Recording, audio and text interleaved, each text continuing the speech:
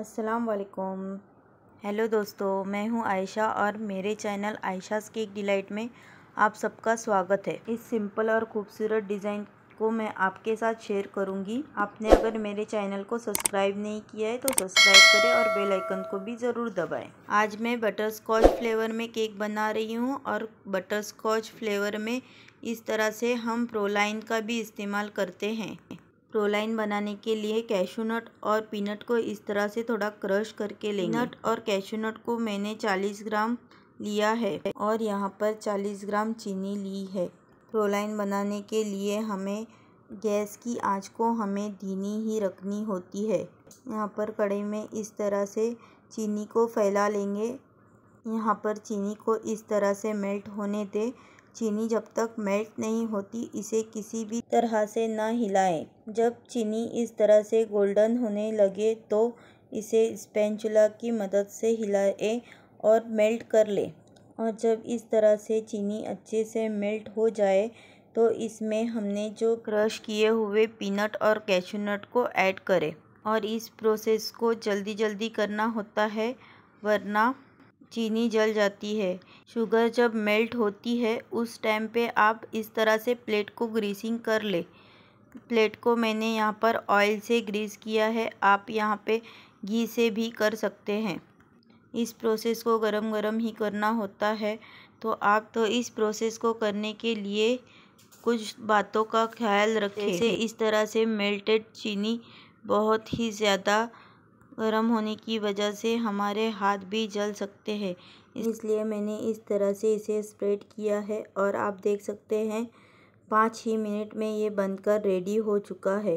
यहाँ पर और भी मैंने प्रोलाइन बनाई है, सिर्फ़ यहाँ पर मैंने एक एक ट्विस्ट किया है वहाँ पर मैंने सिर्फ़ क्रश किया था और यहाँ पर काजू और पीनट को मैंने यहाँ पर ग्राइंड कर लिया है। सेम प्रोसेस से ही मैंने चीनी को मेल्ट किया है और ग्राइंड किए हुए पीनट और कैशू को ऐड किया है, जिस पर हम चपाती बेलते हैं। उसी पर मैंने इस तरह से इसे स्प्रेड किया है और बेलन की मदद से भी मैंने इसे अच्छी तरह से स्प्रेड कर लिया है। इस तरह से हल्का ठंडा होने के बाद इसे मैं शार्प नाइफ से कट कर रही हूँ। आप यहाँ पर देख सकते हैं किस तरह से इसके अच्छे पीसेस हो चुके हैं। यहाँ पर इस तरह से जिपलॉक बैग में मैंने प्रोलाइन को भरकर इस तरह से क्रश कर लिया है, जो हमें केक के लिए इस्तेमाल करना है और बाकी बचा हुआ मैंने इस तरह से एयरटाइट डब्बे में भरकर रख दिया है। अब हम इस प्रोलाइन को ऐड करके हमारे केक को बनाएँगे। यहाँ पर मैंने क्रीम में हमेशा की तरह बटरस्कॉच सिरप को ऐड किया है। केक को सोक करने के लिए जो पानी इस्तेमाल होगा इसमें भी मैंने बटरस्कॉच सिरप को ऐड किया है। फ़र्स्ट लेयर पर मैंने इस तरह से क्रीम को स्प्रेड कर लिया है।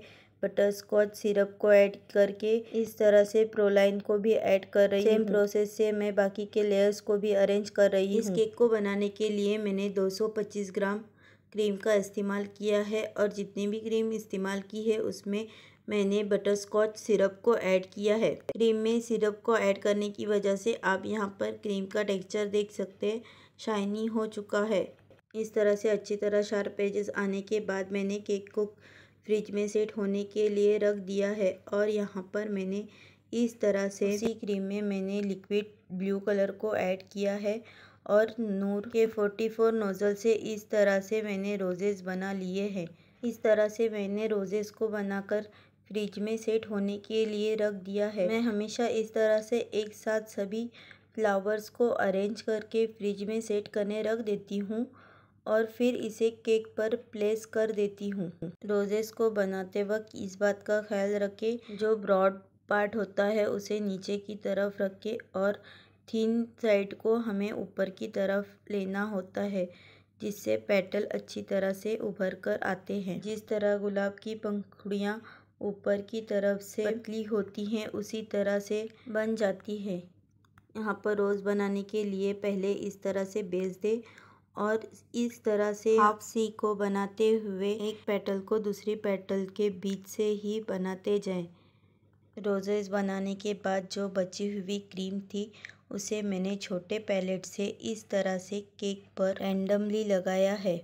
इस तरह से रैंडमली लगाई हुई क्रीम भी हमारी बहुत ही खूबसूरत और प्यारी लग रही है। इस तरह से मैंने फ्लावर्स पर सिल्वर स्प्रे को डस्ट किया है और उसी बची हुई ब्लू क्रीम में मैंने लिक्विड ग्रीन कलर को भी ऐड किया है और इस तरह से मैंने तीनों फ्लावर्स को इस पर अरेंज करके कुछ इस तरह से लीफ बना लिए हैं।